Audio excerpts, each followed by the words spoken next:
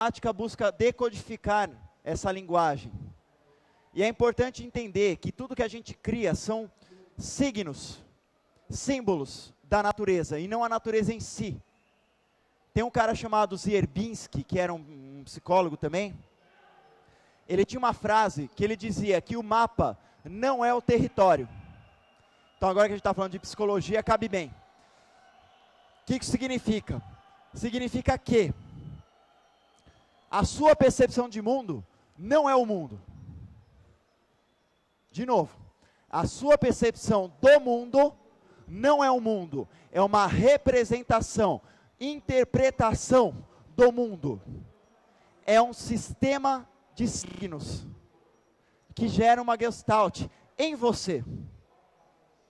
Duas pessoas não têm o mesmo sistema de signos no mundo. Por isso que somos todos diferentes. Por isso que todos interpretamos o mundo de maneira diferente. O mapa não é o território. Dá para entender essa ideia? Então entendam que tudo que a gente está fazendo aqui é falar do mapa e não do, tentando abstrair o território, porque o território está fora da nossa compreensão. Infelizmente, nosso cérebro tridimensional, que segue uma linha temporal, não consegue apreender certas coisas. Então a gente tem que se valer de signos, interpretar esses signos, para tentar intuir parte do território, através do mapa que a gente desenha. Mapas mal desenhados vão te levar a uma falsa interpretação do território, uma interpretação equivocada. Mapas melhor desenhados vão te levar a uma interpretação um pouco melhor do território. Beleza? O que, que eu quero falar de psicologia? Em primeiro lugar, tem uma coisa muito interessante e até paradoxal. Psicologia significa o estudo da psique. Psique, palavra grega para alma. Então, e é uma coisa interessante, porque quando a gente fala de alma, você pode ter N conotações. Eu não vou entrar muito no mérito das conotações. Você tem conotações filosóficas, religiosas, por aí vai. Não vou entrar muito nisso. Mas é engraçado hoje como o estudo da alma está cada vez mais sem alma. É um fato, cada vez mais as pessoas não querem mais é, saber dos problemas dos outros. Isso é um fato. Até em consultórios de profissionais, os próprios profissionais que deveriam querer saber o que está acontecendo na alma daquela pessoa, está pouco se lixando. Fala, ó, toma lá o trololonidrin 300 miligramas, tarja preta, tchau. Eu, eu tinha um amigo que ele tomava, meu Deus do céu. Quando ele começou, eu, eu não tinha visto né, ele antes de tomar o remédio. Depois que ele começou a tomar o remédio, ele chegava a mim. Oi, Edgar. Tudo bem? falei, meu Deus do céu, o que, que fizeram com esse cara? Morreu. A alma do cara espantou. É lógico que funciona, cura, cura. Não tem mais alma ali para fazer nada, para o lado bom, para o lado ruim. Funcionou. Enfim. Então, existem inúmeras escolas de estudo da alma, de psicologia. A maioria delas são tendenciosas. Eu sou obrigado a falar isso. Freud é tendencioso, Adler é tendencioso e por aí vai. E por que, que eles são tendenciosos? Eu vou até mostrar mais ou menos aqui. Freud era muito ligado na, na noção de sexo. Tudo para ele ou era sexo ou era agressão, que ele chamava de thanatos e libido. Né, que, alguém que estudou psicologia freudiana, pelo amor de Deus, se eu falar alguma bobagem, me avise. Dentro do id, dentro do, do, do, do instinto, né, você tinha essa divisão de agressão e sexo para o Freud. E ele tenta explicar tudo dentro dessa noção de agressão e sexo. O que, que acontece? Analisando as pessoas, ele descobre que todos têm determinados conhecimentos, determinadas coisas que estão escondidas dentro da mente daquela pessoa. Essas coisas, Freud interpretou, ele chamou de inconsciente. E na interpretação de Freud, o inconsciente é uma espécie de lixão municipal. Tudo que não presta vai para lá. Tudo que é porcaria, você varre para baixo do tapete, tentando esconder de você mesmo, da sua família, da sociedade traços de caráter que seus pais falam que coisa feia, não seja assim, não faça isso. Ele dizia que essas repressões levavam esses traços de caráter para o inconsciente. Era uma tentativa de você se negar, falar assim: não, eu não sou assim. Eles não gostam que eu seja assim, então não vou ser. Mas na verdade aquele traço de caráter continua existindo no inconsciente. O problema de Freud é que para ele era tudo negativo. É um lixão, são coisas ruins que você tem que se livrar. As suas neuroses são geradas por causa desse lixão municipal do inconsciente. Você tem que se livrar disso. É porque você tem um complexo com a sua mãe, com seu pai, e por aí vai, né? Complexo, é, você está na fase, do, é, da, na, como é que, a fase anal, fase bucal, não tem isso no, no, no, dentro do Freud. Beleza, há fundamentos no que ele fala. Mas espera aí, colocado tudo desse jeito é um negócio meio, sei lá, eu não consigo me imaginar. É, quando ele fala disso, para mim, eu imagino uma sociedade de macacos, assim, é, interagindo. Porque tudo que ele fala é que o ser humano é só instinto. Se fosse isso, a gente não seria melhor que o macaco. Se bem que às vezes eu me pergunto se a gente é melhor que o macaco, mas aí é outra história. Então, o que acontece? Eu fui para tudo quanto é lado, já tinha lido. Até que um dia eu caí na besteira de ler esse cara. Carl Gustav Jung. E nunca mais saí.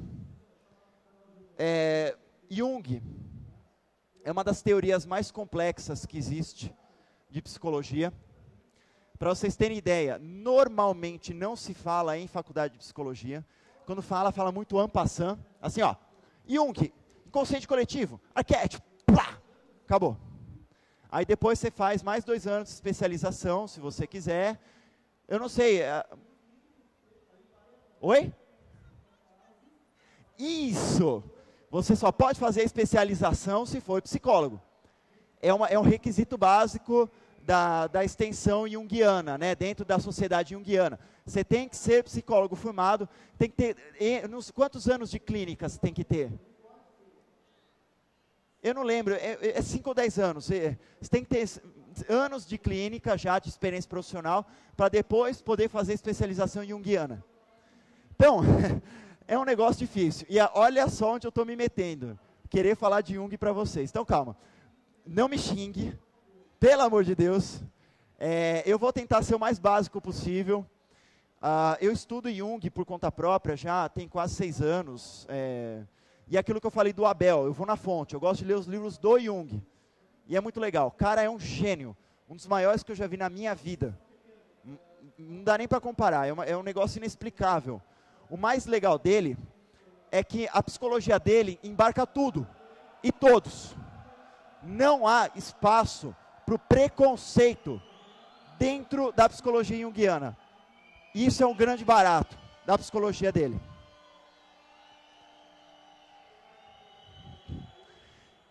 É, para poder falar um pouco, eu vou primeiro falar de uma coisa. É, eu vou fazer esses, essas brincadeiras aqui, vocês vão falando com, com, vocês mesmos se é ou não é. Jung, eu vou começar por um lado, no, no, não é necessariamente o melhor, mas é uma maneira de se introduzir Jung, a ideia de Jung. Jung fala muito de tipos psicológicos e atitudes psicológicas. Jung divide as pessoas, e percebam, o que eu vou falar não é escrito em pedra, são só mapas, não é o território, tá?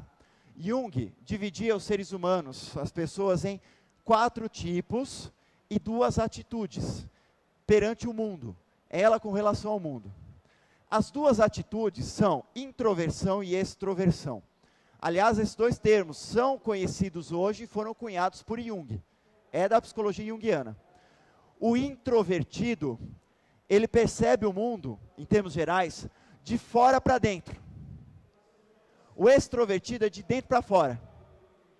Então, aquela pessoa mais reclusa, mais tímida, mais na dela, é um introvertido estereotipado.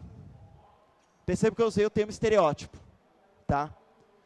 Aquela pessoa que, ei, oba, oba, vamos para festa, festa o dia todo, e gosta de conversar com todo mundo, e faz amizade fácil, e todo mundo gosta dele.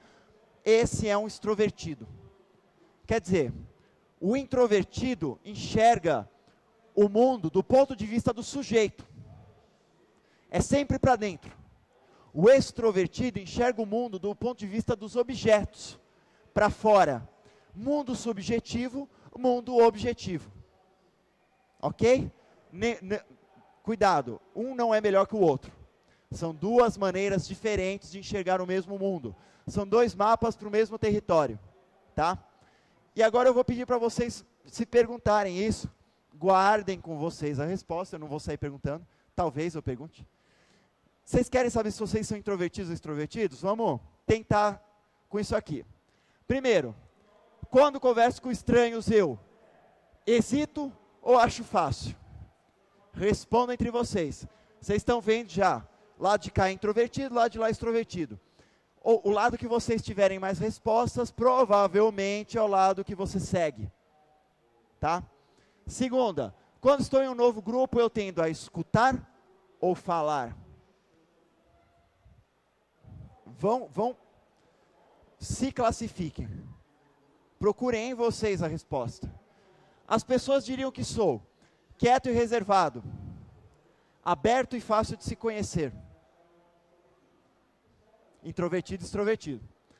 Quando estou aprendendo a respeito de um novo assunto, eu gosto de ler sobre ele ou ouvir sobre ele. Com relação a dinheiro, sou inclinado a guardar ou gastar. Isso numa situação normal. De, certas neuroses podem fazer você gastar tudo de qualquer maneira ou guardar tudo de qualquer maneira. Quando planejo um jantar, prefiro ter quatro pessoas ou doze pessoas. O introvertido, ele não, ele não se sente muito à vontade quando tem muita gente. Pelo menos é, quatro pessoas é uma coisa mais aconchegante, mais próxima, mais pessoal, subjetiva. Doze pessoas pode ser uma coisa mais. Você tem que ser mais expansivo para atingir todo mundo. Isso aqui não é, é científico, tá? Então, só respondam. Agora é o seguinte, eu vou pular esse para mostrar isso aqui. O que eu quero falar para vocês primeiro são esses quatro em volta. Entendam o ser humano como ah, daqui para dentro, o círculo, tá? todo ser humano se orienta para um tipo psicológico específico. Jung fez quatro, classificou quatro. Não significa que isso seja verdade absoluta, é só um modelo de interpretação para ele poder trabalhar com os, os pacientes dele. Os quatro são pensamento, sentimento, intuição e sensação. Isso significa que todos nós, sem exceção, usamos um desses quatro de forma primária, é o mais forte dentro de nós.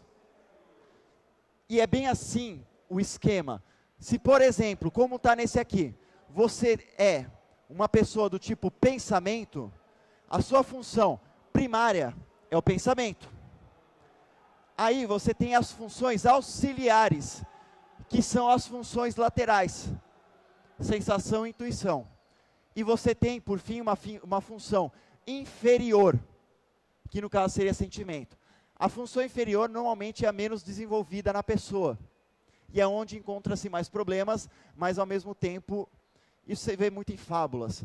É, em contos de fada, aquilo que parecia ser o maior problema, normalmente é a sua grande salvação. E dentro da psicologia junguiana, você encontra isso na função inferior. Mas vamos lá. Por exemplo, se você é do tipo sentimento, eu não expliquei o que são, ainda não. Se você é do tipo sentimento, sua função primária é sentimento, sua função inferior é pensamento, suas funções auxiliares são sensação e intuição. Se você é um tipo intuição, a sua função inferior é sensação. E as suas funções auxiliares são pensamento e sentimento. Todo mundo se orienta melhor por uma dessas quatro. Pensamento e sentimento, Jung chamava de funções racionais, porque elas dependem de certas lógicas para entender o mundo. Sensação e intuição são chamadas de funções irracionais, porque elas não usam lógica como a gente entende para entender o mundo. Não, não é melhor ou pior, entendam isso. De novo, racional e irracional não é melhor ou pior. Tudo bem? Vamos tentar entender na prática. Tentem se buscar. Normalmente o que vai acontecer é assim: de pensamento e sentimento, vocês vão pegar um. Ah, eu sou esse. Intuição e sensação também. Ah, eu também sou esse. Você fala, peraí, qual que eu sou? Um deles é a sua função primária, o outro é a sua função secundária. Aí, para descobrir quem é primária e secundária é mais complicado. Mas pelo menos vocês começarem a ter um norte. Tá? Então vamos lá. Básico. As pessoas me consideram lógico e razoável. Minha função é pensamento. Receptivo e simpático. Minha função é sentimento. Quando as pessoas discutem, eu quero que cheguem em uma solução. Pensamento. Eu quero que parem. Sentimento. Quando alguém tem um problema, a minha primeira reação é ajudá-la a resolver o problema. É aquele cara que chega, não, vamos fazer assim, você precisa disso, então vamos fazer assim. Por que, você não faz de tal maneira? Quer chegar já num resultado para a pessoa, mas às vezes ela pisa nos sentimentos, não percebe que só está piorando a situação. É o pensamento. Ou você simpatiza com ela. Não, vem cá, poxa, que chato, né? É mesmo. Você não está tentando solucionar, você está entrando, fazendo uma espécie de raporte com a pessoa. Esse é o sentimento. Na hora de tomar uma decisão, eu favoreço minha cabeça e meu coração. Isso é, é meio básico, é até meio clichê, né? Falar desse jeito. Vejam aí qual que vocês se classificam melhor intuição e sensação. E eu já explico daqui a pouco a, a, a, definição de cada um. Tenho a tendência de me animar com o futuro. Você é intuitivo. O intuitivo, ele fica ou no passado ou no futuro, nunca no presente. Essa é a principal característica do intuitivo. É aquele que fica com a cabeça nas nuvens. Ah, é sonhador, intuitivo. Tem a tendência de apreciar o momento presente. Tipo sensação é agora o que eu tenho aqui com os meus sentidos. Essa é a grande diferença entre intuição e sensação. Quando faço planos, me sinto de alguma forma preso. Intuição. Me sinto confortável com eles. Confortável, tá certo. Sensação. Se fosse trabalhar uma empresa, eu iria preferir pesquisa e projeto. Perfeito para quem é intuição, porque é o homem cabeça nas nuvens, né? Criativo, imaginativo. Produção e distribuição é mais mão na massa, aquela coisa mais agora, que precisa ser feito daquele jeito, senão se ferra tudo. Sensação. Sou inclinado a me envolver em vários projetos uma só vez. É, é onde a intuição se ferra. Quer fazer tudo, não faz nada. Fazer uma coisa por vez. Ponto para sensação. Se as pessoas fossem se queixar de mim, elas diriam o quê? Ó, cuidado com aquelas aspas, já explico aquilo. Elas diriam o quê? Tenho a cabeça nas nuvens. É o sonhador. Estou no cio, entre aspas, é, é o sujeito sensual. E sensual não tem a ver com sexo. Sensual é aquela pessoa que valoriza os sentidos. Então, você pode encontrar sensualidade num vinho, numa, num bom prato, numa cozinha chique, num, num restaurante chique. Isso é sensual. É a questão dos sentidos. Por isso que ele fala assim: Eu estou no cio. É aquela pessoa que, que é sensual por natureza. Ela está sempre de olho no, no, no, que os sentidos trazem para ela. Por isso que é assim, estou no cio. Então, pelo amor de Deus, não entendam mal. Pessoas me chamariam de imaginativo ou realista. Intuição, sensação. Mesma coisa. Quando me encontro em uma situação nova, estou mais interessado no que pode vir a acontecer ou no que está acontecendo agora? Pode vir a acontecer a intuição, futuro ou passado. Acontecendo agora é sensação. Então o que, que acontece? Quando você mistura os tipos psicológicos do Jung com as atitudes psicológicas, você descobre, vamos supor que a pessoa seja do tipo pensamento. Se ela é introvertida, ela é do tipo pensamento introvertido. Ela é da, daquele tipo de pessoa que, gosta de relacionar as causas e efeitos, mas num nível subjetivo e não objetivo. Matemática abstrata seria ótima para quem é pensamento introvertido. Pensamento extrovertido pode ser um engenheiro, porque ele tem que fazer projetos, coisas para fora, mas ainda assim, causa efeito, causa efeito, causa efeito. E por aí vai. Então todo mundo é, tem um tipo psicológico primário, um secundário e um terciário e um inferior, que é aquele oposto. E ao mesmo tempo tem uma atitude básica, introvertido ou extrovertido. Vejam onde vocês se encaixam. E eu vou falar depois por quê. Se não der falar hoje, eu vou falar amanhã na questão dos jogos. Deixa eu, eu vou deixar marcado aqui. Quais são as coisas mais importantes na psicologia junguiana? Essa questão de tipos é, não é a coisa mais importante, tá? Na verdade, é uma das menos importantes temos de, de, eh, na relação eh, do, do, do, psicólogo com o paciente. Mas é, uma, é um norte que ele pega para falar assim, ah, ele é assim, assim, assado. Deixa eu começar a entender como ele funciona em cima disso. A teoria junguiana, ela se fundamenta em algumas coisas básicas. Primeiro, Entenda uma coisa, Jung era um sujeito muito prático. Então, nada do que ele fez foi, ele tirou do nada. Ele tirou de coisas práticas. Ele era psiquiatra, ele foi residente no hospital psiquiátrico, hospital de loucos. E o que ele começou a ver lá dentro, começou a revelar muito de como funciona a mente humana. Acredite se quiser, por meio dos loucos. Então, depois ele começou a ver que as pessoas ditas normais apresentavam coisas muito semelhantes que os loucos, só que em níveis diferentes, em graus diferentes de seriedade, de consequência. Então, deixar bem claro isso também. Questão, a questão do que é normal do que é loucura, normalidade e loucura, é uma questão de ponto de vista também. Uma das primeiras coisas que ele percebeu é que os pacientes dele faziam desenhos estranhos, circulares, de forma espontânea, circulares, tá? Quando ele olhava aqueles desenhos, tinha dentro dos desenhos motivos budistas, hindus, tibetanos, coisas absurdamente fora da realidade do cara, que o cara nunca tinha visto na vida dele. Jung começou a ficar meio assim, falou, pô, de onde esse cara tirou? De onde ele tirou isso? De onde ele tirou isso? De todas essas observações, Jung postulou a noção de inconsciente coletivo. Então vamos de, primeiro definir inconsciente na visão de Jung. Semelhante a Freud, o inconsciente são coisas que você reprime ou que você não tem consciência da sua própria personalidade e que ficam em algum lugar. Essa é a parte freudiana. Só que Jung foi além. Jung diz que abaixo dessa, desse lixão municipal que não é tão lixão assim na visão de Jung, ele deixa bem claro que não é um lixão. Existe um substrato mais primitivo que conecta toda a humanidade. Então, por exemplo, lembra que a gente viu a geometria sagrada?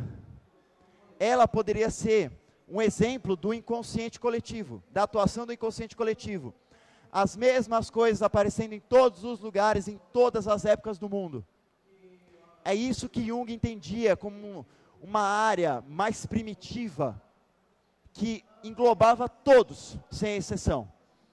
A isso ele chamou inconsciente coletivo. É um. Assim como nós temos o DNA, a genética, que define o corpo físico, ele diz de forma bem solta que o inconsciente coletivo, os elementos do inconsciente coletivo, define uma espécie de genética psíquica. Isso é herdado de geração por geração e tudo mais. Dentro da, do inconsciente coletivo, ele encontrou alguns temas básicos em toda a civilização, em todas as épocas, em todos os mitos, em todas as religiões, em todas as culturas. Essas ideias básicas, esses motivos básicos, ele chamou de arquétipo. Arquétipo significa imagem antiga. Literalmente. O que, que seriam os arquétipos? Seriam elementos que brotam do inconsciente coletivo de maneira irracional, espontânea.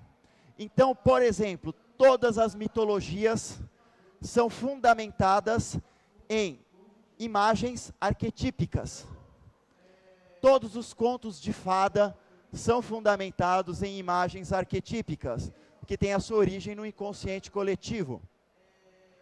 Todos os sonhos são fundamentados no inconsciente, seja pessoal ou coletivo, ou uma mistura de ambos. E isso é uma coisa extremamente importante na psicologia junguiana. Jung dava um valor extremo aos sonhos. E não é, ele não foi o primeiro. Na Grécia já existia isso. No oráculo de Delfos, você tinha aqueles vapores que subiam e a pitonisa exalava e começava a profetizar. Ela entrava num estado de sonambulismo e ela começava a ver imagens. E aí ela começava a recitar essas imagens e alguém interpretava. Então Jung percebeu que os sonhos não são tão caóticos quanto parecem. Na verdade, ele não foi pioneiro. Freud foi o pioneiro no estudo dos sonhos. Só que Freud era muito estereotipado. Jung viu a coisa de uma maneira mais solta. Ele viu que, assim como cada pessoa interpreta o mundo de uma maneira diferente, os símbolos que aparecem nos sonhos não podem ser iguais para todo mundo. Podem ser semelhantes. Você pode encontrar um motivo básico, mas você vai encontrar variações do mesmo tema. Os sonhos na visão de Jung, dizem tudo o que você precisa saber sobre você mesmo. O problema é qual é a linguagem dos sonhos. Então poderia Fala bem perto. Então poderia dizer que esse inconsciente coletivo, ele não é baseado só no passado, mas também no futuro. Ah, bela pergunta. Excelente pergunta. Vocês ouviram? Ele perguntou então se poderia considerar que se o inconsciente coletivo é não só o repositório do tudo do passado, mas tudo do futuro também. Sim e não. E sim e não é a melhor resposta que eu posso te dar. E aí eu começo paradoxal. E, aí, e para, o paradoxo ele existe em todas as religiões. Quando a coisa começa a ficar muito louca, você começa a descobrir que as respostas entram em contraste. E sim e não não é um paradoxo, é um aparente paradoxo é que para eu poder te explicar, a gente ia conversar sobre tempo. E, nossa senhora, aí vai longe. Aí tinha que voltar na física. O que, que a física está falando? O que, que as religiões falavam sobre tempo? As ideias místicas sobre tempo. Que tempo também é uma percepção. Tempo é um signo. E é isso que é difícil de aceitar. É uma interpretação de uma realidade que a gente não, não enxerga, literalmente falando. Então é difícil eu, te falar se é, é, é sim e não porque aí eu teria, que, eu teria que explicar melhor o que é tempo. Então, fica com essa, essa resposta ruim, tá? Conviva com isso, pelo amor de Deus. Então, qual é a linguagem dos sonhos? Essa é a grande chave para Jung. A linguagem dos sonhos é a linguagem dos mitos. É uma linguagem simbólica, mitológica. E aí ele começou a analisar os sonhos de inúmeros pacientes. Dizem que ele analisou em vida mais de 80 mil sonhos de pacientes. Então a gente pode dizer que o cara era meio especialista nisso. Né? Imagina, 80 mil sonhos. Não é pouco. E achar sentido em todos eles é mais louco ainda. Eu juro para vocês, faz sentido. Eu vou contar depois um sonho. Não foi meu, me contaram uma vez. E aí vocês vão ver como os arquétipos influenciam. Porque a pessoa que me contou o sonho não sabia desses arquétipos. Mas eu vou apresentar os arquétipos, depois eu conto o sonho. Tá? Então entendam isso. Jung valorizava os sonhos. Ele achava, achava não, né, ele postulava que os sonhos eram uma, eram uma porta de entrada para você mesmo, para o seu inconsciente pessoal e para o inconsciente coletivo. Dois níveis diferentes de acesso. Para explicar isso melhor, eu vou ter que começar a falar de alguns elementos primeiro elemento que eu quero falar é o ego. O ego, ele está ali, ó. Deixa eu, vou, deixa eu ir um para frente. Eu prefiro essa imagem para poder falar do ego. Quem é o ego? O ego é, a, é o centro da consciência. Jung dizia que o ego é um complexo. Um complexo é um ponto em torno do qual se reúnem várias coisas em comum. Então, o ego é um complexo, é um centro da consciência, em torno do qual se reúnem os elementos da sua consciência. Beleza? Uh, o ego, não é o seu todo. O ego é uma parte de você. É o centro da consciência, não da inconsciência. O problema é que o ego, o ego tem uma função. A função do ego é analisar o mundo. É uma função analítica. É, ego, é isso que o ego faz. É assim que a gente adquire consciência das coisas. A gente estuda, analisa, pensa e começa a gerar signos, interpretar a realidade. Essa é a função do ego. O ego é um complexo. O que, que acontece? Aqui ele está mais perto do mundo subjetivo do que do mundo objetivo, claro. Ele é o centro da sua consciência. O problema é o seguinte: o ego, ele é meio frágil, ele é meio dodói. É, qualquer coisinha que você falar para ele, ele se ofende. Ele é bem assim. Esse é o maior problema do ego. Porque o ego acha que ele é o centro do seu ser. Ele é o centro, ele é, ele é o personagem principal da história. Então, pô, qualquer coisa que tira ele do centro, ele fica chateado. Então, o que acontece? Ao longo da vida, o ego vai recebendo choques. Seja da família, com os pais reprimindo, ah, com os irmãos reprimindo, com a sociedade reprimindo. Enfim, você recebe várias repressões. E isso vai fazendo o quê? Vai formando uma crosta entre o ego e o mundo. Essa crosta é, a gente pode chamar de persona. Persona é literalmente máscara. Porque o que acontece? A pessoa, conforme vai evoluindo, crescendo, passando pelas fases de desenvolvimento, ela vai entendendo mais ou menos como o mundo funciona. Mais ou menos. E com isso, ela vai descobrindo maneiras de interagir com o mundo. Essas maneiras que ela descobre de interagir com o mundo são as máscaras, as personas. Então, por exemplo, ah, quando o filho, é, sei lá, o pai é médico e o filho quer ter a banda de rock. Pai fala: Que é isso? Banda de rock não dá dinheiro. É, que bobeira, você vai morrer de fome. Eu tenho consultório aqui já montado, vai fazer medicina. Eu pago sua faculdade, você faz sua residência, você tem a Vem Clínica aqui comigo.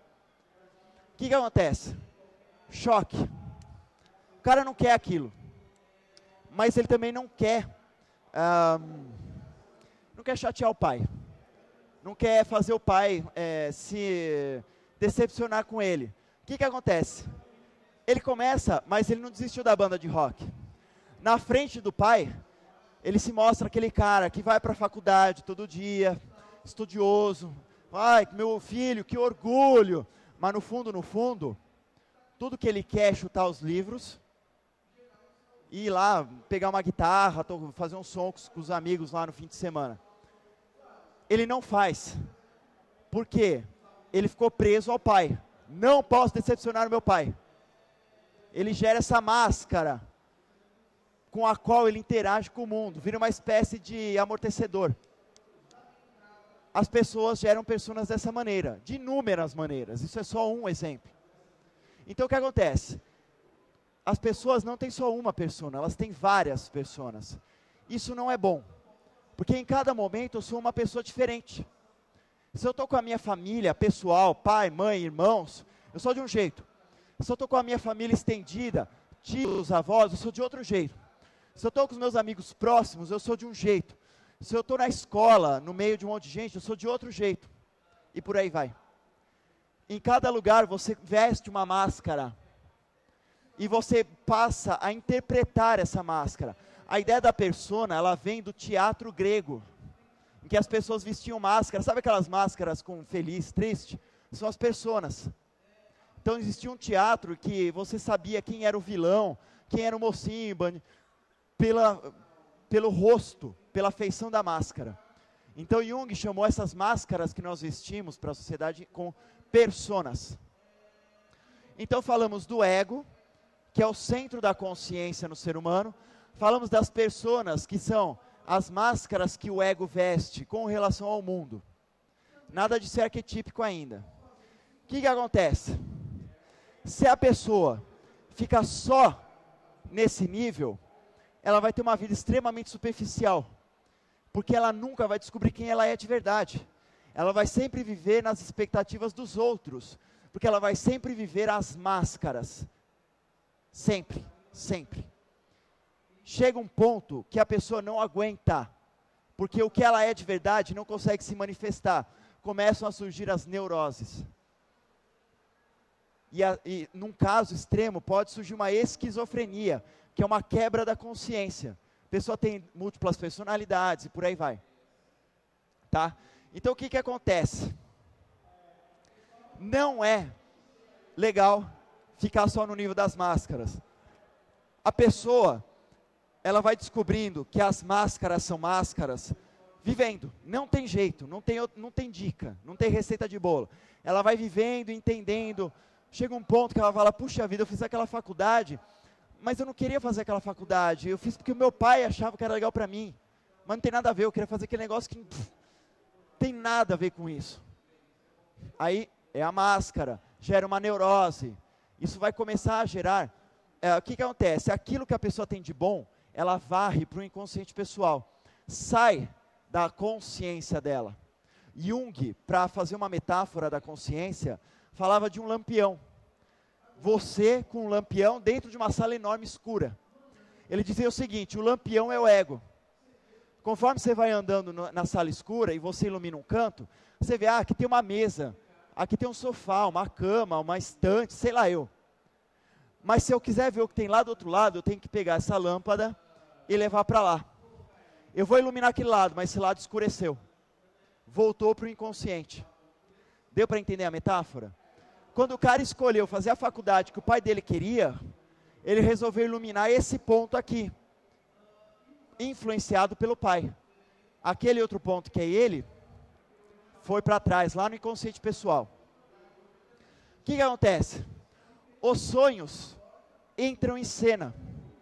Jung dizia que a função dos sonhos é equilibrar a vida consciente do ser humano.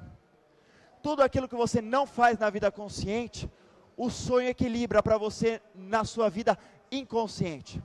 Aí eu vou pegar um exemplo é, do Freud, que é bem típico, mas não é assim que funciona sempre, é, é, é uma exceção.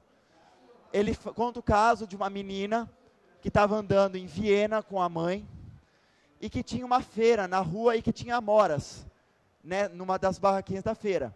A menina foi direto pegar as amoras na barraca. A mãe chegou, não, e deu uma na mão dela.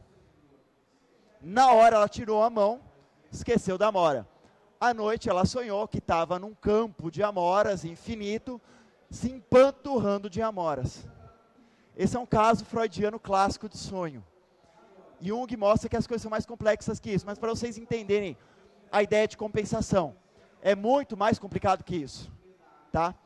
E depois que eu falar de arquétipos, que eu falar do sonho, vocês vão entender o nível de complexidade da coisa, que a coisa pode chegar. Então o que, que acontece? Os sonhos vêm te alertar. Meu amigo, presta atenção. Olha para esse lado seu que está no escuro. Enxerga, enxerga, enxerga.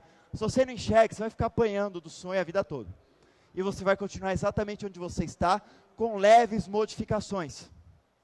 A não ser que ocorra um desastre na sua vida e aí tudo vira de ponta cabeça. É de propósito, porque no desastre, suas máscaras caem, você começa a entender que a sua vida era uma ilusão. Você começa a buscar coisas um pouco diferentes. Não deixem um desastre acontecer na vida de vocês, tá? Vamos entender os arquétipos, não, não precisa acontecer nada disso com vocês. Então vamos lá. Eu vou voltar para o anterior. Jung colocava algumas imagens, alguns arquétipos, imagens antigas básicos, a primeira que ele falava é a sombra. Sombra é tudo aquilo que não está no seu foco de luz, ou seja, no seu foco de consciência. O que o lampião não acende vai para o inconsciente pessoal. E quando ele emerge, ele emerge na forma de figuras sombrias. Existem alguns casos, uh, por exemplo, vamos, vamos pegar alguns exemplos. A criança que tem medo, criança normalmente tem medo do escuro. Isso é uma projeção da sombra infantil no escuro em si. o escuro se torna um símbolo da sombra para a criança. Bicho-papão, essas coisas, em termos infantis. Ah, um, outro caso que é muito clássico, isso mais em termos de sociedades. Quando os europeus invadiram a África, eles foram, prestem atenção, eles foram obrigados a colonizar os negros por causa de uma projeção da sombra dos europeus sobre os africanos, que não tem nada a ver com os africanos. É isso que eu quero é, que vocês entendam. Ah, eles projetaram coisas deles próprios. Isso aconteceu também na época da caça às bruxas. Outro exemplo de sombra coletiva. É a mesma coisa. É, ele, os negros são tão capazes quanto os brancos em tudo. Só que os europeus se acharam no direito de projetar a sombra deles e subjugar os negros. Você ia falar alguma coisa? A sombra tem vários casos. Por exemplo, em histórias de cavaleiro, o dragão é a sombra. Quando o dragão tem, ou o monstro que ele tem que matar, subjugar, é sempre a, a ideia de sombra. São coisas que você ou não, não tem, não sabe que existem dentro de você, mas são suas, ou que você sabe que existem dentro de você e você tem vergonha delas. Então, assim, é, deixa eu ver um exemplo não muito. Sei lá, você acha que coçar o nariz em público é errado. Você não gosta, você acha que é feio, não sei. Você começa a falar é feio, é feio, até o ponto que você para de fazer isso. Isso vai para o seu inconsciente pessoal em algum momento vai chegar alguma coisa para falar para você. Meu, por que, que você acha que isso é feio? Normalmente vai vir na forma de uma figura, que se você souber interpretar, vai te remeter ao ponto que te levou a jogar isso no. Tem outras coisas piores, é que tudo que eu pode, eh, posso falar aqui pode acabar soando mal. Tá? Então, e, outra coisa, né? Não entende, é, é, difícil, tem certas coisas que são difíceis de falar, sem, é, sem, as, sem bater no preconceito das pessoas. Então entendam que o mundo, de novo, vou colocar aquele postulado. O mundo é um sistema de signos que geram gestalt. Os signos são interpretados por vocês, por mim. O preconceito existe, existe. Mas vamos com calma. Eu não estou falando em termos preconceituosos, então pelo amor de Deus, não me xinguem, tá? Então, sombra, tudo aquilo que é seu, que você não gosta, que você não sabe que existe vai para o lixão. De alguma forma, ele precisa ser manifestado. E ele se manifesta na ideia da sombra. Próximo. Depois que você tem esse, existe um outro fato físico no ser humano. Nenhum homem é 100% homem, fisicamente falando, geneticamente falando. E nenhuma mulher é 100% mulher, geneticamente falando. O homem é predominantemente homem por sua carga genética e a mulher é predominantemente mulher por sua carga genética. Mas quando o homem e a mulher vão para o mundo, ele tem que ser o homem ou mulher. Mas todo homem tem um lado feminino e toda mulher tem um lado masculino. Se você não souber lidar com isso, falar assim, vai para o lixão municipal. Isso um dia vai emergir para você na forma de uma figura. Essa figura vai ser uma mulher para os homens e um homem para as mulheres. Seja em sonhos, em, não importa, não importa. Em algum momento vai surgir essa imagem. Essa imagem é o que Jung chamava de ânima, que é a figura feminina do homem, e ânimos, figura masculina da mulher. A ânima é toda mulher dentro do homem, e o ânimos é todo homem dentro da mulher. Então, ah, movimentos machistas e feministas estão simplesmente jogando para o inconsciente o lado natural oposto que existe dentro de nós e não deixando manifestar. É aquele negócio: homem não chora. Machismo. Por que não? Vai deixar de ser homem por causa disso? É uma noção que, se você aceitar, você vai começar a gerar uma persona de um homem forte, que não chora, que não demonstra os sentimentos. Tudo isso que você não demonstra vai para o inconsciente. Em algum momento, vai se manifestar normalmente nos sonhos, na forma de imagens personificadas. Entenderam? O último arquétipo importante é o self. O self, Jung dizia que é o todo do indivíduo. E esse todo, ele não tem bordas bem definidas. É paradoxal e eu não tenho como explicar muito melhor que isso. É um todo, é a ideia do círculo cujo raio está em toda parte e cujo perímetro está em lugar nenhum. É, é uma noção zen budista, hum, é difícil explicar isso. Mas o self, se vocês quiserem colocar uma forma simplista, é o verdadeiro centro do indivíduo. Só que é um centro que engloba tudo. Tá? Então, tudo bem, persona, ego, sombra, ânima e self. Nessa ordem. Vamos, deixa eu ver o que, que eu tenho aqui de exemplos. Ah, vamos pular isso aqui. Por exemplo, deixa eu pegar uns exemplos práticos aqui para vocês começarem a entender. Toda criação, todo pro projeto criativo parte de um indivíduo. E esse indivíduo é um ser que tem uma determinada consciência de algumas coisas dele e outras coisas inconscientes dele. Quando ele cria alguma coisa, ele está projetando ele mesmo nas suas criações. Então, o legal é que todo, toda criação artística revela quem é o artista. De forma individual ou coletiva, não importa. Então, por exemplo, por que, que eu peguei o Sonic nesse caso? A sombra do Sonic é o Shadow. Todo mundo conhece o Shadow? É uma, entendo assim, quando criaram o Sonic, o Sonic, ele era um, um personagem extremamente virtuoso. Extremamente virtuoso. Isso gera um desequilíbrio na, no ser humano. Se ele, se ele tentar ser extremamente virtuoso, ele vai se dar mal. Porque ele vai esquecer que ele tem instintos dentro dele. E que esses instintos não podem ser negados. Você pode fingir que eles não existem, mas eles ainda estão lá. Então, é um erro você achar que você pode ser 100% virtuoso. É o Sonic. O que, que aconteceu? 10 anos de Sonic geraram uma neurose no, na, na, ideia do personagem. E o, os criadores sentiram a necessidade de criar o Shadow.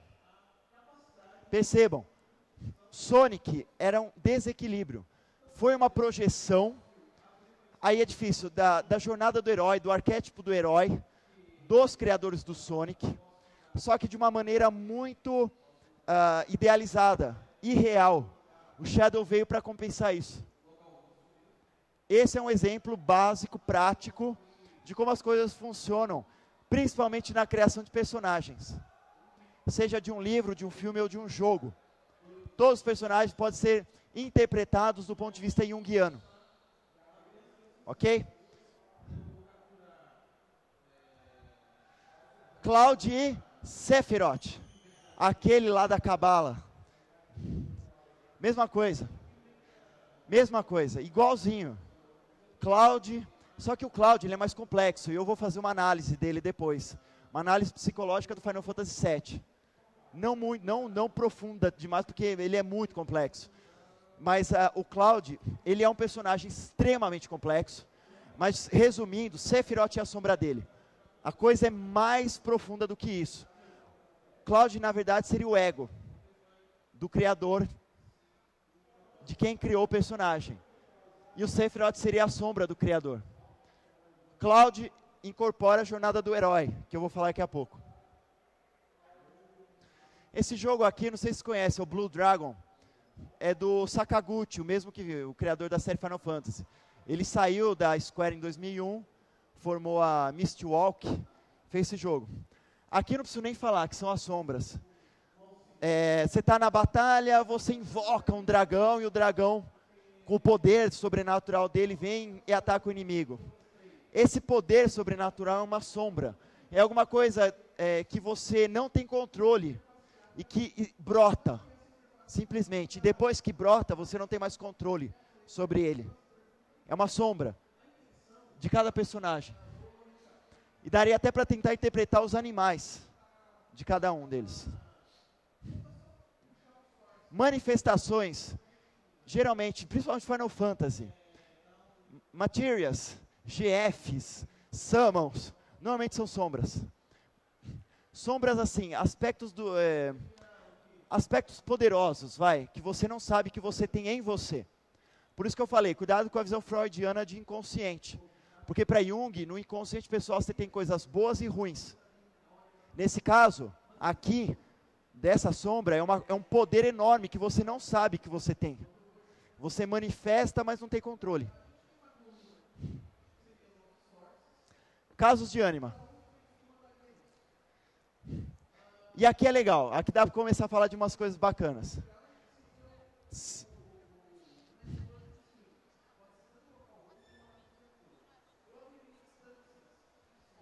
Tem. Perguntando se a Kyubi do Naruto tem a ver com isso, a raposa. A Kyubi, que o, é aprisionada dentro do Naruto.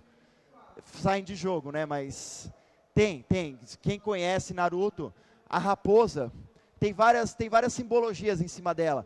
É um animal totêmico. Ele é necessário na jornada do herói. Eu vou mostrar isso depois no ciclo do Red Horn.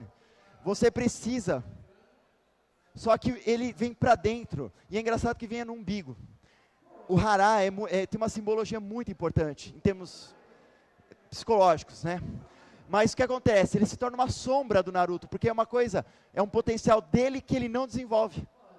Ele precisa aprender a controlar isso. O dia que ele controlar, ele vai começar de fato a jornada do herói. Sempre que ele perde a consciência, a Kyubi se manifesta é o aspecto de sombra perfeito. Agora a raposa tem conceitos mitológicos atrás dela, né, dentro do shintoísmo. Aí tem que começar a estudar mais a fundo a mitologia japonesa. Vamos lá. Lara Croft. A evolução dela, né? Ao longo de mais 10 anos da caracterização dela. Jung dizia que os arquétipos eles se manifestam em quatro estágios, do mais primitivo ao mais, uh, não sei como eu poderia, divino entre aspas, vai. A ânima, que é o aspecto feminino do homem, também tem quatro estágios. O extremamente primitivo, que seria é, instinto, sexo puro, instinto. A visão da mulher na visão do sexo, do instinto sexual. O segundo estágio, ela já é mais humanizada, mas ainda guarda um pouco da carga sexual. Adivinhem onde está Lara Croft? É um segundo estágio de ânima. De quem? De quem criou o personagem. E tem umas coisas interessantes na Lara Croft. As curvas dela, por assim dizer, uh, revelam os complexos de quem o criou. Existe um complexo materno escondido na figura de Lara Croft, mas eu não vou comentar isso. Tá? Aí outra história. Segundo estágio de ânima, Lara Croft. Aí eu achei, é que aqui não dá para mostrar, é, é, eu aqui eu quis mostrar ela desde o primeiro Tomb Raider até o último em, 2000, é, em 2007. É que ficou bem escuro ali, né? Mas dá, dá para ver alguma coisa dela ali? Não, né? Olha ali em cima que dá a mesma coisa. Então vocês podem ver, né? 300 polígonos e 5 mil polígonos. Vocês podem perceber onde eles colocaram mais polígonos, né? Ou não? No nariz, lógico. O que vocês pensaram? Colocaram mais polígonos no nariz, caramba. Final Fantasy VII. É, Para quem não conhece, assim, amanhã, quer dizer, quando eu for falar dos jogos, eu acho que vai ser amanhã, eu vou falar inclusive dessas duas aqui. A Tifa e a Ares são personagens principais do Final Fantasy VII. E o engraçado é o seguinte: as duas gostam do personagem principal. Na verdade, eles começam a se gostar, depois se descobrem, né, num parque de diversões com a Ares. O Cloud sai com a Ares e tal. E ela morre no meio do jogo. Alguns consideram a cena mais chocante da história do videogame. E é verdade, é chocante mesmo, porque você acaba se afeiçoando. E normalmente, é aí que está, o normalmente o público de RPG é um público, público de jogos, está mudando um pouco, mas RPG é público masculino, então o pessoal acaba se identificando com os, os símbolos femininos tal. Aí quando você projeta a sua ânima nela e ela morre, é um choque. Porque é como se fosse a sua ânima morrendo. Tem um porquê dela ter morrido. A hora que eu, quando eu for analisar o Final Fantasy VII, vocês vão entender. A Tifa é um segundo estágio de ânima. Concordam? Comparem a Tifa com a Ares e me digam qual delas é mais sexualizada. Está evidente, né?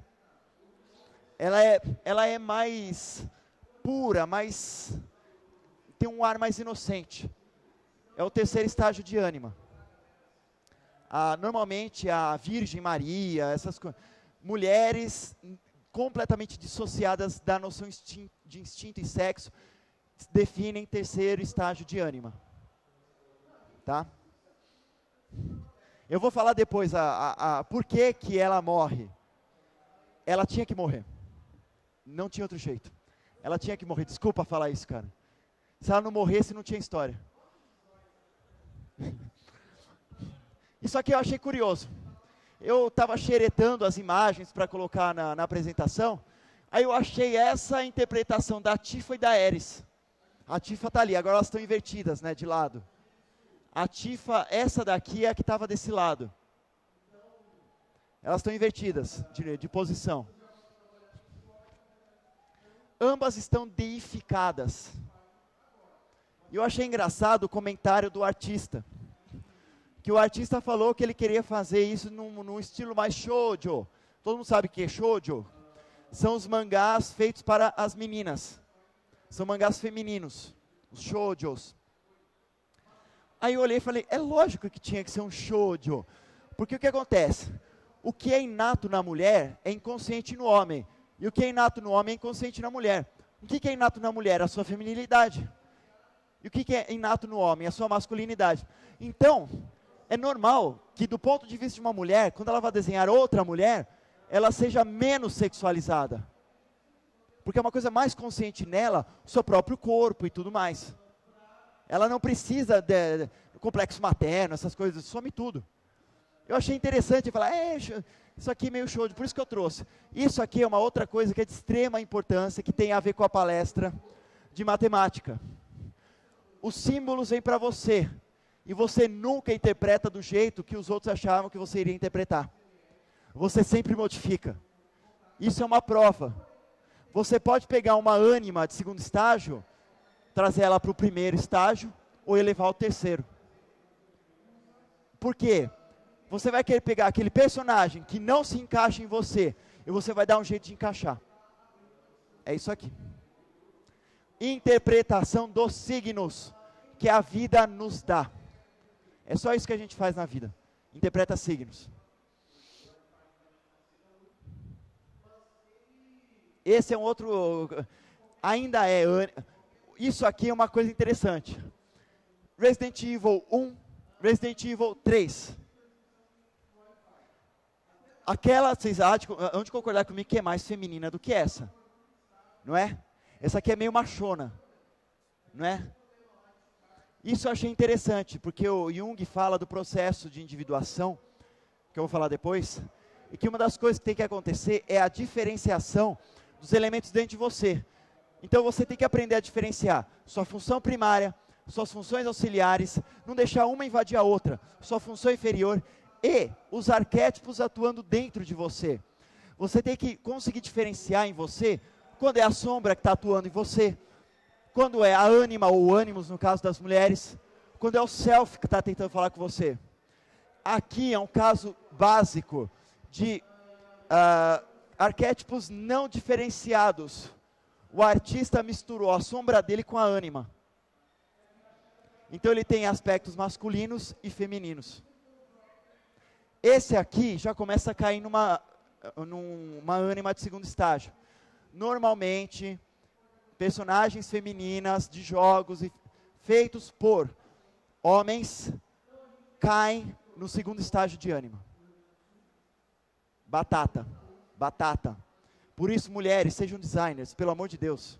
Chega! Tá, tá ridículo isso, são quatro estágios. A gente trava no segundo. Como é que a gente vai evoluir, caramba? Bom, esse é outro exemplo interessante. Só que nesse caso, o arquétipo, o estágio foi para baixo. A, a princesa Peach, ela é um terceiro estágio de ânima. Ela não tem é, noções de sexo, ela é bem pura, inocente. Aí vem um fã da princesa Peach e coloca, né, momentos de férias da princesa Peach. E rebaixa o arquétipo para o segundo estágio. Mais um exemplo de como as pessoas não interpretam os símbolos da mesma maneira. Vem para ele e ele interpreta do jeito que ele quer. Mas é assim mesmo, tem que ser assim. As coisas nunca vêm corretas. É, e no fundo, o mundo é um espelho. No fundo, no fundo, a vida toda é um espelho de você mesmo. Você passa a vida toda se projetando no mundo e projetando uh, as suas coisas no mundo. É, um, é uma reciprocidade que parte de você. Então, é, é, é quando a pessoa resolve se afiliar para um partido, num partido político. Os idealismos são projeções arquetípicas, tanto daqueles que você concorda quanto daqueles que você discorda. Um se torna aspecto de ego, de consciência, você gera uma máscara em torno disso, e o outro, malditos socialistas, malditos comunistas, é a sua sombra. É a sombra do seu idealismo. Tem nada de errado com socialistas comunistas, é que você interpreta assim. A vida é um espelho. Entenderam isso aqui? Beleza? Esse é um dos casos mais próximos, quase uma ânima de terceiro estágio. Não é. Ela está tentando chegar no terceiro estágio. Ela ainda é um segundo estágio, por quê? Ela, uh, vocês jogaram esse jogo, Beyond Good and Evil? Quem não jogou assim, ela, ela é, ela é, administra um orfanato, tem uma invasão alienígena, tem uma conspiração por trás, e ela vai com uma máquina fotográfica tentar desvendar a conspiração que está acontecendo. Então, o jogo, ele te dá a possibilidade de você não ter combates. Você vai simplesmente tirando fotos, escapando, infiltrando nos lugares, você vai meio furtivo. E isso é altamente simbólico também. E aí eu teria que conversar um pouco melhor na relação da ânima como ponte para o self que é isso mesmo que ela faz. Ela não é tão sexualizada, se vocês pararem para pensar. Não é, né? mas ainda é um pouco. E ela empunha um bastão. Ela ainda, ela ainda tem agressividade. Ela é segundo estágio, mas ela já começa a ter um vislumbre do terceiro estágio. Mas não é. Ela não conseguiu ainda diferenciar isso. É um dos exemplos mais avançados que eu encontrei de ânima nos jogos. Olha que tristeza. Segundo estágio, top. Terceiro estágio de ânima, você tem algumas projeções, mas é, princesas, né? Normalmente tem. Mas quando o personagem principal é feminino, socorro. Olha, ânimos eu só achei um caso nos jogos, Phantasy Star. Por quê? Porque a designer é uma mulher. Então o que acontece? O personagem principal é uma mulher. Essa mulher é um aspecto da designer. Seja de ego ou sombra, eu não sei dizer. Não sei dizer. Provavelmente é um aspecto da jornada do herói da designer. Então talvez seja o ego. Agora, uma coisa que Jung percebeu é que o ânimos, quando, se, quando é, se personifica para a mulher, ele, ele nunca se personifica na forma de um homem vem sempre como dois ou mais homens, principalmente nos sonhos. Então aí está o ânimos. Da designer de Phantasy Star. Esse aqui é um segundo estágio de ânimos. Musculoso, meio me matar, matar, matar, né? Que é o, gente, é o Odin, não é? Me refere, é Odin. E o Noah Noah, né? E o Noah, ele é mais intelectual, mexe com magia. então ele já é um terceiro estágio de ânimos. Também mais é, separado da, do, do, conceito de instinto, de sexo. O outro não, é mais, né? Mister Universo. Vocês estão entendendo? Que, sombra, ânima, ânimos, tá, tá dando para... Beleza. Selfie é uma coisa difícil de achar nos jogos. Juro para vocês, eu andei, eu comecei a fazer umas análises. Poucos jogos chegam no selfie. Poucos. E na verdade, a maioria dos jogos são jornadas do herói. E eu vou falar isso em seguida. Um exemplo de selfie que eu coloquei a imagem aí é o chamado life stream, fluxo de vida do Final Fantasy VII. É uma, é uma, é, é uma expressão do selfie. O selfie, na verdade, é Gaia. É o planeta no Final Fantasy VII. E você tem essa expressão de self pelo live stream, pelo fluxo de vida. O self normalmente aparece em sonhos como formas circulares. Normalmente as mandalas são aspectos do self. E aí a gente retorna nas mandalas que a gente viu lá na matemática. Vão percebendo as conexões. Tá? Tudo tem a ver com tudo. Outro exemplo de self Balamb Garden, Final Fantasy VIII. E eu posso explicar por uma análise psicológica que o, especificamente o Balamb Garden é o self do jogo. Porque o Squall depois ele se torna, qual que é o cargo dele depois, no meio do jogo? Ele, começa, ele vira uma espécie de diretor do, não é? Ele começa, é uma espécie de diretor encarregado do Balamb Garden. O Squall como personagem principal, sendo o ego, na sua jornada do herói, vislumbra o self, a possibilidade de administrar o self. Isso é extremamente avançado, é muito legal. Os poucos jogos que a coisa fica tão bonita de se ver. Jornada do herói. Agora é o seguinte, beleza. Falamos de tipos psicológicos, atitudes psicológicas, complexo do ego, complexo da persona, arquétipos, sombra, ânima, ânimos, self. E daí? Como que eu pego tudo isso e, e, e dou uma ordem para isso? Aí entra a jornada do herói. A jornada, a jornada do herói é um fio condutor para o desenvolvimento do ser humano. É uma ideia de como que o ser humano se desenvolve as etapas da jornada que o ser humano tem ao longo da vida para se um, se tornar um indivíduo. Indivíduo, etimologicamente, é aquele que não é dividido, quebrado. Não tem nada a ver com individualismo. Indiví ser indivíduo não é ser individualista. Não confundam as coisas. O individualista se centra no ego.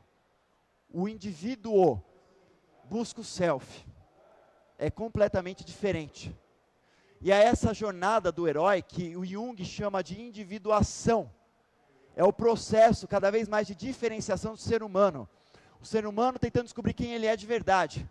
Quais são os potenciais dele, tanto para o bem quanto para o mal. E como ele vai lidar com esses potenciais, bons e ruins. Isso é individuação.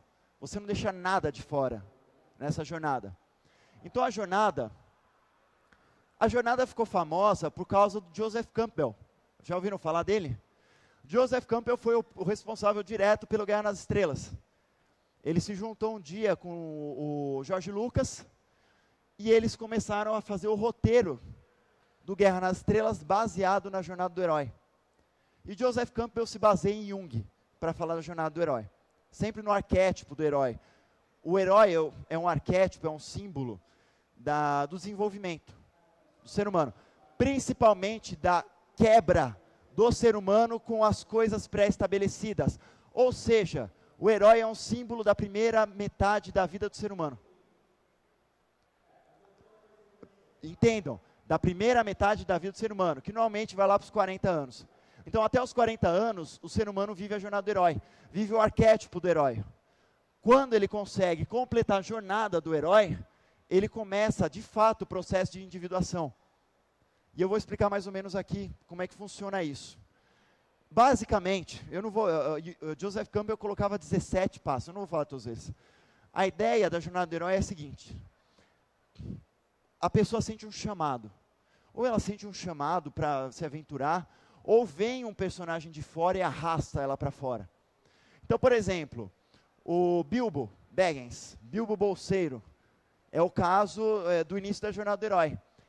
Ele é um, um hobbit, um hobbit é um ser, por definição, próprio Tolkien coloca assim, né?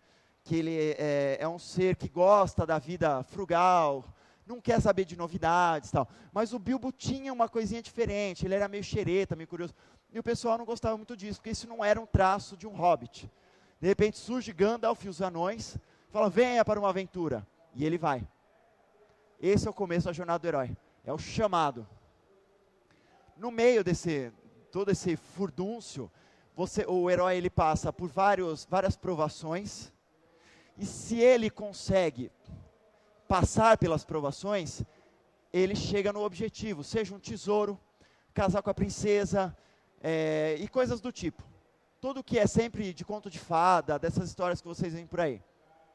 Então, basicamente, a jornada do herói, depois que ele consegue, ele sente a necessidade de voltar. E se ele não sente, ele é impelido a voltar. Por bem ou por mal, ele volta. A voltar para a sociedade onde ele vivia. Por quê? Porque os heróis são os disseminadores de cultura.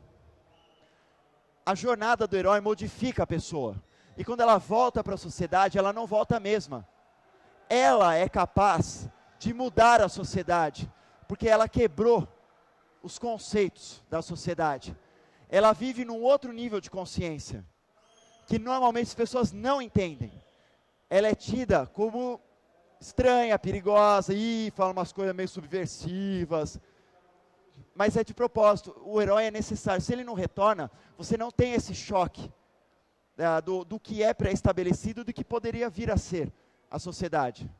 Então a função dele é se mudar e depois mudar a sociedade. De alguma forma. Essa mudança na sociedade, essa consciência de que além dele existe o um mundo, é a segunda fase da vida do ser humano. Ele deixa o arquétipo do herói de lado e começa a buscar o self, se orientar pelo self. Entenderam? Então, normalmente, qual é a história de, uma, de um conto de fadas básico? Ou de uma história de cavalaria básica? Uma dama em perigo foi raptada, colocada numa torre, e o herói, cavaleiro, virtuoso, vai lá e mata o dragão com a lança. A lança é o aspecto da, do poder masculino do homem, é o falo. O dragão é a sombra. A torre é a caminhada, é a ascensão do ser humano, do, do homem, em direção ao seu aspecto feminino, que vai gerar uma coisa que é chamada de hierogamos na tradição. É o casamento sagrado. O casamento sagrado simboliza a junção dos polos positivo e negativo, do masculino e do feminino. Ou seja, por mais que a maioria das histórias de heróis sejam de homens, a jornada do herói é tanto para o homem quanto para a mulher, cada um nos seus desafios específicos, que lá no final vai te levar a se unir com o seu oposto. Desse momento em diante, você é uma coisa só. Você entende a sua masculinidade como homem e aquela feminilidade secundária que você precisa também absorver e colocar para fora. E inversamente para a mulher. Você se torna uma coisa só. Esse é o simbolismo do hierogamos, do casamento sagrado. A torre simboliza essa ascensão, a ida do ego para esse ponto sagrado. Nesse, né, normalmente a ascensão leva a, a ideia do divino. E é divina essa conexão que você tem com o seu feminino, no caso do homem, ou com o seu masculino, no caso da mulher. Essa é a história básica do, da jornada do herói. O herói, além disso, ele pode na verdade, deve. Se a gente estiver falando de uma jornada completa, ele precisa morrer de alguma maneira. É necessário. Na jornada completa do herói, o herói tem que morrer e ressuscitar. Isso é fundamental, simbolicamente, a morte do ego, como centro da sua personalidade. O ego sai de cena, ele deixa, continua existindo com a função dele, mas entende que ele não é o centro da sua personalidade. É a morte simbólica e o renascimento, com uma personalidade diferente, menos quebrada, mais individual. Tudo bem?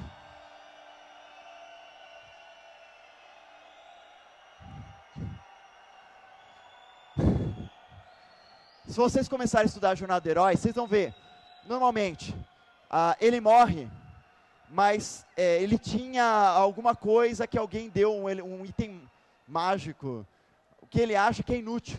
Toma essa noz, assim, ele encontra uma velhinha, a velhinha dá uma noz para ele, seca, ah, põe no bolso. Aquela noz revive ele de alguma maneira, porque tinha um poder especial que faz ele ressuscitar. Isso também é altamente simbólico são dicas que o self vai dando para te proteger, te guiar na jornada do herói. É, um, é, bacana isso. Ele sabe dos seus perigos, mas ele sabe também que não pode trilhar a jornada por você. Ele vai te ajudando, mas não trilha por você. É muito legal isso. Nem todas as jornadas do herói, de todos os filmes, livros, jogos, são completos. Na verdade, a maioria não é. A maioria não é completa. E infelizmente hoje, a jornada do herói é estereotipada porque hoje você tem um guia de como se escrever roteiros baseado na jornada do herói. É oficial. Todo roteirista de Hollywood já leu essa porcaria. É por isso que vocês veem a mesma coisa.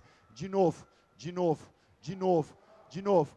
Qual é o problema? O arquétipo, ele perde esse caráter divino, luminoso que ele tem e começa a se tornar um estereótipo. Estéreo é uma coisa rígida, sólida. Uma imagem sólida. Aí você fala, ah, de novo, fulano que faz tal coisa, que vai não sei o quê. Eu vi isso no Independence Day, o dia depois de amanhã, e o 2012, que foi o mesmo diretor. Vocês veem, meu, é igualzinho, os três filmes são iguaizinhos. Você começa a olhar cada personagem, os arquétipos, a relação, não mudou nada. É um roteiro assim que vende, rende bilhões para Hollywood. Negócio de louco. Tudo bem com a ideia do Jornal do Herói?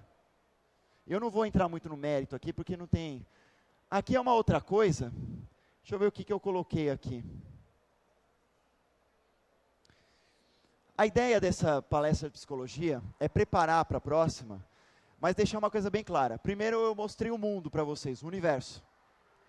Olha, percebam que o universo, vocês não entendem ele como é de verdade. Vocês têm um mapa do território na questão psicológica, eu estou querendo mostrar para vocês. Observem a sociedade e percebam que vocês não enxergam a realidade. Vocês têm um mapa do território, um mapa que vocês confeccionaram a partir dos seus caracteres psicológicos. Da sua sombra, da sua ânima, do seu ânimo e por aí vai. Tá? Eu vou contar um sonho, antes de falar disso aqui, que eu falei que eu ia contar, que é, é bem legal. Uh, a pessoa, conversando com a pessoa, ela me contou, o sonho foi o seguinte. Ela estava num lugar escuro, ela parecia uma caverna para ela. Ela estava dentro da água. A água era rasa e estava parada. Parecia um lago. Na frente dela tinha uma pedrinha que saía, a pontinha saía da água. Em cima dessa pedra tinha um macaco. E esse, só que tinha um detalhe: esse macaco estava vestido com roupas humanas. Em torno da pessoa e do macaco, de, em torno da água também, giravam várias máscaras. E toda vez, e volta e meia, esse macaco ficava rindo, tirando sarro da pessoa, pegava uma máscara, vestia e falava: Olha, eu sou tal pessoa. Tirava: Olha, agora eu sou tal pessoa. E, tira, e pessoas que ela conhecia, que ela sentia que ela conhecia. E ficou fazendo esse jogo com ela. Aí ela acordou. Interpretação. O escuro é o inconsciente. É, a, é, é, todo o potencial que ela tem de desenvolvimento dela própria, que ela não sabe que tem ainda. Então se mostra como um grande, vasto escuro, que você não enxerga o fim. É como se você tivesse uma, um, uma sala infinita, com espaço infinito para um desenvolvimento infinito. O que ela tinha, na verdade, era aquele lago. Ela estava contida neste lago, raso. Água normalmente simboliza emoções. Quando você tem se a água está parada ou correndo, a simbologia é diferente. É emoção. Mas quando a, as águas estão correndo, significa de certa forma, elas estão tendo um certo impulso. uma certa manifestação. Quando estão paradas, significa que estagnou. Você não está dando atenção. É essa a função. São rasas porque a pessoa não se aprofundou nas suas emoções. Por isso que elas estagnaram. O macaco está acima das emoções. Ele é um elemento que não se deixa levar pelas emoções da pessoa. O macaco, ele representa o primeiro estágio do herói, chamado trickster. O primeiro estágio do herói é o estágio. Trickster é aquele. Não é brincalhão, mas é, pode ser brincalhão no bom ou no mau sentido. Brincadeiras de bom ou de mau gosto normalmente são feitas por tricksters. Na nossa sociedade, o palhaço encarna o trickster. E percebam que tem muita gente que não gosta de palhaço. É uma projeção do estágio de trickster no palhaço. É uma resistência à jornada do herói. Não vou falar nada além disso do, da questão do palhaço. O trickster, normalmente, ele aparece como um animal. É, como ele não tem consciência, ele é um estágio pré-consciente. Por não ter consciência, ele faz as coisas da cabeça dele e, não, e não, não percebe as consequências dos atos dele próprio. Então, por isso que normalmente é um animal. O macaco é um dos, um dos melhores exemplos que você tem para o trickster. Inclusive, na mitologia chinesa, você tem o deus macaco, que é um trickster. O que, que acontece? O macaco é o primeiro estágio da jornada do herói. Ele está falando, e ele está tirando um sarro do ego da pessoa. Porque a pessoa está no lugar do ego ali. Está tirando um sarro. Ah, está te falando, pegando as marcas o que, que o trickster está tentando mostrar para ela, para essa pessoa? Meu, você acha que isso é isso? Isso, você acha que isso é isso agora? Por quê? É uma pessoa muito volúvel. Ela se deixa levar pelo que as pessoas falam que deve ser. O sonho está falando: largue as máscaras, descubra quem você é. Por isso que ela está com, uh, com os pés na água. Observe as suas emoções. Analise você. Chega de olhar para fora, para essas máscaras, que não quer dizer nada. E ela se sentiu muito mal com esse sonho. A pessoa se sentiu muito mal. Ela, sabe, do tipo, constrangida, meio, pô, tirou uma da minha cara. Só que tem um detalhe: o macaco está com roupas humanas. Significa que, de alguma forma, o primeiro estágio do herói está emergindo com relances do segundo estágio do herói já ligeiramente humanizado, que é o que eles chamam de hair, ou lebre. No segundo estágio do, do herói, o herói começa a ter características mais humanas. Ele começa a se importar com os outros, ele começa a fazer as coisas com um pouco mais de foco. O terceiro estágio, que é o Red Horn, ou chifre vermelho, todos esses nomes são dados a partir da, da jornada do herói dentro de uma tribo do, da América do Norte, os Winebagos. Só que esse processo acontece no mundo inteiro, em todos os tempos, de todas as maneiras possíveis. Então, o Red Horn, ele já é humano, completamente. Só que ele ainda é meio toscão, meio força bruta, e ele precisa sempre de um acompanhante sobrenatural que supre todas as carências que esse herói tem. No quarto estágio, esse ser sobrenatural some e você é colocado solto no mundo. O quarto estágio é chamado twin, ou gêmeos, e normalmente é colocado como gêmeos. Sonic e Shadow são caso de twins. Eles são esses dois aspectos do herói. Um aspecto destrutivo e o outro construtivo. Que o herói, por conta própria, vai ter que aprender a dominar. Uma coisa importante na jornada do herói é uma palavrinha grega chamada ibris.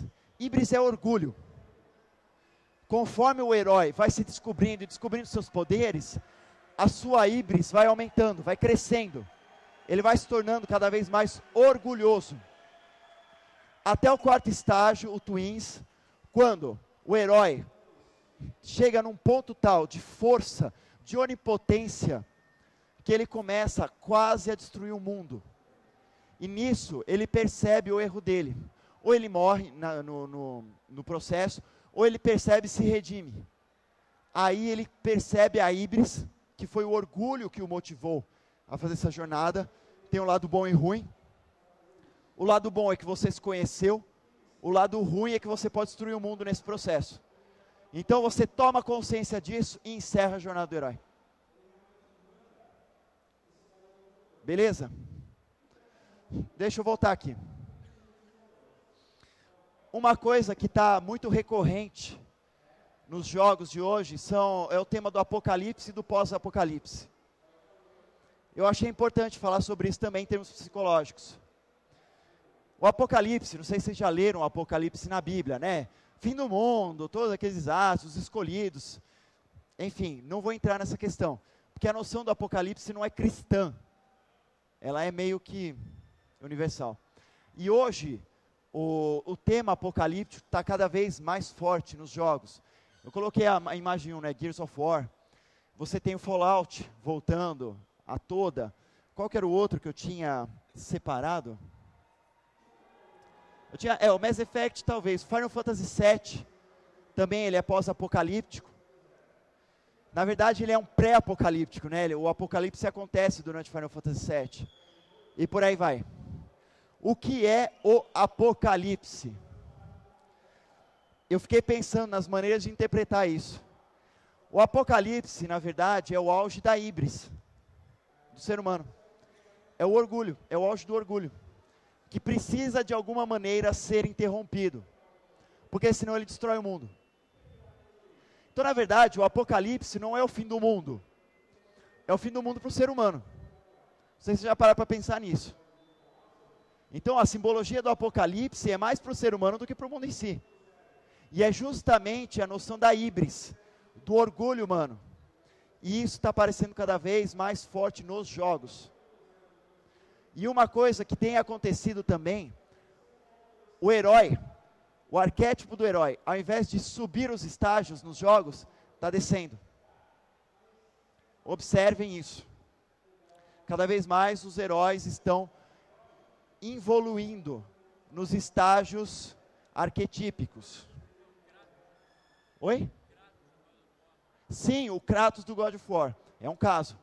Tá, as coisas estão cada vez mais precisas. Gears of War. É outro caso.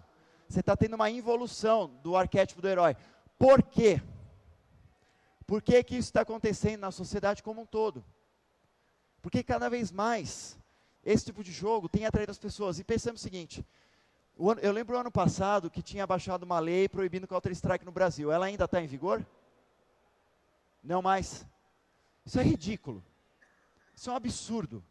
Querer falar, ah, porque a violência vai gerar violência. Me desculpe. Vamos proibir todos os filmes violentos. Vamos proibir todos os desenhos violentos, porque na verdade os desenhos, Pernalonga, Papaléguas, Coyote, Padrinhos Mágicos, são todos aspectos de trickster. Primeiro estágio do herói, do arquétipo do herói. É necessário. É uma, é pré-consciência do herói. Até o momento que ele percebe o que, que ele está fazendo aí ele para de fazer as sacanagens com os outros. Por isso que as crianças se identificam com esses personagens. Falar que é violência, ai, ai que desenho violento. Meu, não é por aí. Vocês percebem que se vocês começarem a entender os arquétipos e toda essa divisão, é um mapa, não é o território, mas ajuda a entender o mundo. Concordam? É um, uma das maneiras de se entender o mundo. Não digo que é a melhor, a, a única, mas é uma maneira. O que eu estou sentindo nesse processo de pós de apocalipse, deixa eu ver o que mais está aqui. Ah, figura de, isso aqui eu não vou é, falar. Eu sempre erro aqui, né? Incrível. Deixa eu ver se tinha. Eu vou deixar aqui. O resto eu já meio que falei. Aí depois falo mais na interpretação do, do jogo. Uh, o que está acontecendo? Inúmeras coisas. Primeiro, a sociedade ela evoluiu, entre aspas, bem entre aspas, trabalhando as personas das pessoas que vivem na sociedade. Só que tem um problema, a persona não é a pessoa, não é o indivíduo. É uma máscara confeccionada para que o mundo te aceite. O problema é o seguinte: se você não faz a sua lição de casa, ou seja, se você não faz o seu, a sua lição de autoconhecimento, você vai acreditar que você já é aquilo que a sua máscara mostra para o mundo. Errado. Os arquétipos, eles têm vida própria, por assim dizer. E se você não der espaço para eles se manifestarem, eles vão se manifestar de qualquer jeito. Se não for num sonho, vai ser num surto psicótico, numa esquizofrenia, numa neurose. Depende do grau de problema, do grau de. de, de é, do quanto você reprime, do grau de repressão daquele arquétipo. Isso é problemático. O que eu tenho visto hoje é que as pessoas não, não se entendem, não entendem esses aspectos arquetípicos de si mesmo, criam uma máscara para a sociedade, porque também ninguém sabe o que é da vida, vivem essa máscara de maneira cega, só que chega um ponto na vida que as neuroses começam a irromper. Você começa a ter surtos de raiva e você não sabe por quê. Você começa a ter surtos depressivos e você não sabe por quê. Você começa a ter crises de choro e você não sabe por quê. Você começa a ter oscilações de humor. Tem uma hora que está super risonho, na outra você está lá no seu quarto enfiado ouvindo música gótica, pensando se vai cortar os pulsos. É verdade, né? Não é mais gótico, hoje é emo, né? Desculpa. Mudou o signo. Eu preciso me preciso acompanhar. E esse é o problema. Todas essas neuroses geralmente acontecem porque você não aceita um aspecto de você mesmo. Então eu vou dar um exemplo aqui. Ah, vamos pegar, por exemplo, por que, que as pessoas jogam jogos. Por que, que vocês acham que as pessoas jogam jogos? Você, você joga jogo? Você joga jogo? Nenhum jogo. Nada. Então, por favor, alguém que jogue jogo aqui. Vamos lá, aqui vamos, vamos lá. Que tipo de jogo você gosta? RPG. Por quê? Por quê? Oi? Isso. Você se existe o que se chama de projeção. Você se projeta no personagem. Se o que o personagem vive, é, faz, te interessa, você entra, você se projeta e você começa a viver os arquétipos, a jornada daquele personagem. Isso tem um aspecto é, curativo. É bom para a psique humana. O problema é o seguinte: as pessoas só jogam. Dá para ouvir assim? Eu, eu tirei um pouco de lado, dá para ouvir bem? As pessoas só jogam, normalmente, jogos que fortalecem aquilo que elas já sabem que são você acaba, é como um processo de autoafirmação. Eu sou bom nisso, eu vou por aqui. Porque aqui eu não tenho dificuldades. Eu vou dar o meu exemplo. Eu até falei Gears of War. Eu estou jogando Gears of War. É o meu oposto, total. E eu estou fazendo de propósito. Eu morro de medo desse jogo, eu confesso. Eu morro de medo. Eu termino o jogo tremendo, suando. E por quê? Porque os arquétipos, eu tive uma vida de uma determinada maneira, que eu fortaleci determinados aspectos da minha vida e outros não. E hoje que eu estou começando a encarar esses lados, eles são muito poderosos. Você fica meio assim. Eu joguei o Senhor dos Anéis Duas Torres, do GameCube. A hora que eu terminava uma fase que eu considerava impossível, minha mão estava assim, eu estava o corpo inteiro, o coração palpitando e suando, suando, suando. Meu, muito louco isso. Aí você fala, ah, que bobeira, bobeira nada. Bom para mim. Eu incorporei um arquétipo que eu não.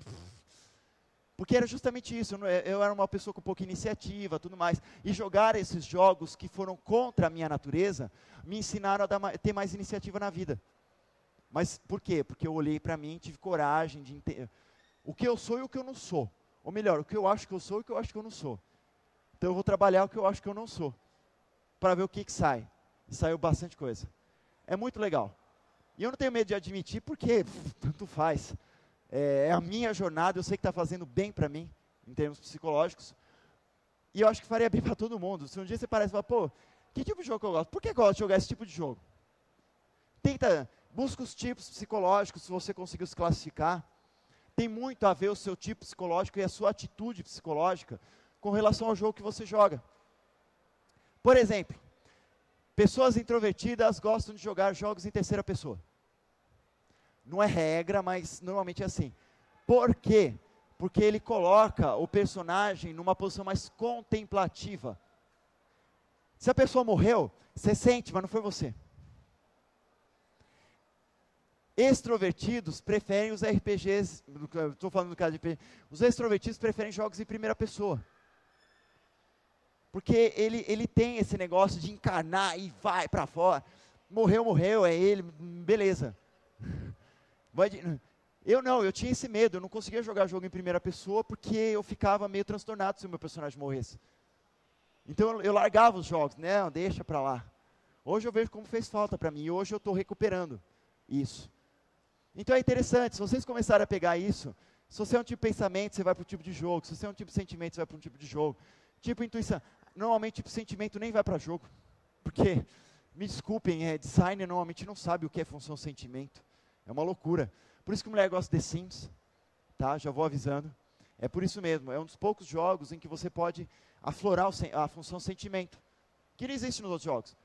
A gente vive numa sociedade masculina, patriarcal, em que todas essas coisas acabam tendo simbole, simbologias e toda uma, uma força simbólica masculina. E a mulher fica onde nisso? Mulher também não tem jornada do herói, jornada da heroína. Para ela, ela não tem os desafios dela na vida dela? Claro que tem. Mas não necessariamente os mesmos desafios do homem. E isso é importante também no processo de diferenciação. A mulher entender que é mulher e o homem entender que é homem. E você sabe, eu, eu, eu sempre brinco. Macho é aquele que admite que tem um lado feminino. Esse é macho. O resto é frescura. Tudo bem, gente? Deu para entender mais ou menos? Então, assim, eu acho que eu vou parar hoje mesmo, né? Não, não, nem vou tentar ir. Eu nem sei que oração. Vocês aguentaram bem, hein? Ainda bem que me deixou por último, Luiz. é, eu peço desculpa, eu sempre acabo fazendo isso. Eu sempre, eu sempre tenho, acabo tendo mais o que falar do que a hora que eu tenho para falar. Aí acaba saindo essas coisas. Amanhã, eu concluo. Eu vou fazer uma análise de um jogo. Especi especificamente, vou pegar o Final Fantasy VII a fundo. Vou, vou mostrar como ele é arquetípico do começo ao fim. O 8 também é. O 9 já é um declínio estranho, o 10 também. Talvez demonstrando uma insatisfação de Sakaguchi dentro da Square. Isso também se demonstra nos arquétipos dos jogos. Mas depois a gente vê, amanhã a gente fala isso melhor. Dúvidas? Alguém tem algum comentário, alguma coisa para. Deu para levar? Um... É, oi, cê, cê, fala no microfone, só para todo mundo. Oi, eu tenho uma pergunta aqui que ficou na minha cabeça, não sei se tem a ver ou não. O melhor amigo da gente, geralmente é a nossa sombra? Boa! Normalmente é. Normalmente é. É um aspecto de sombra. O meu melhor amigo é a minha sombra. Eu posso falar isso por mim. Ele é o meu oposto. E a gente se completa de uma maneira assim. Justamente para a gente ser oposto e a gente conversar e começar a ter os opostos, nas, é que a gente se entende. É muito legal isso. Sim. Normalmente é sombra. Amanhã às 10. Por isso, normalmente você começa a buscar seu melhor amigo na infância, na adolescência. Você busca o espelho da sua sombra. É, é, depois da persona, é o primeiro passo do processo de individuação. Depois você busca o sexo oposto que é a Animal Animus, e por aí vai. Putz, desculpa, 10 da noite. Só faltava essa, né? Meia-noite e tanto. Então, gente, não vou mais segurar vocês. Valeu, até amanhã.